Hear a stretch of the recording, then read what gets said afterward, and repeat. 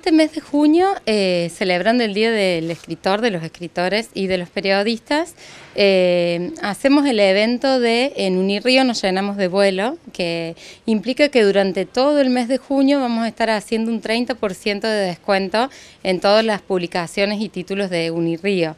Eh, nos interesa de esta manera, además de que puedan acceder a, los títulos que ofrecemos, que puedan conocer la librería, venir a visitarnos, apropiarse del espacio eh, porque es muy lindo y tiene muchas posibilidades de, materiales que van más allá de los que hacemos en Unirrío,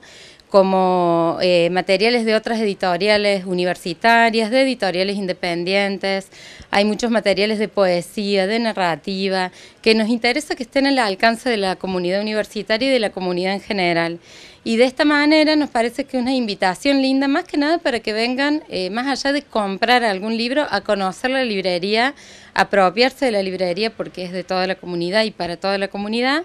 Y bueno, de esa manera, entre todos, ir como, como dándole vida y ir dándole, ir dándole el perfil o armando el perfil que le interesa a la gente. De esta manera hay gente que viene y nos pide materiales que nosotros mandamos a pedir o que tenemos en cuenta en sugerencias en cuanto a horarios y eso, y nos interesa mucho en ese sentido la mirada y las voces de, de la comunidad, que nos puedan aportar, que nos puedan sugerir ideas,